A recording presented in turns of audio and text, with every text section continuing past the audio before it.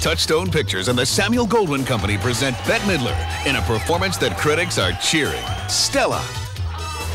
The Los Angeles Times says Bette Midler is irrepressible. At the movies raves, Bette Midler sets the screen sparkling. John Goodman is excellent. And Roger Ebert says thumbs up. It's a movie with a lot of style, warmth, and heart. I love you. Love you, Mom. Stella, rated PG 13.